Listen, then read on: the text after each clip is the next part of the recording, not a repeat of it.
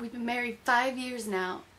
And deep down, somewhere inside, I still love you. Oh.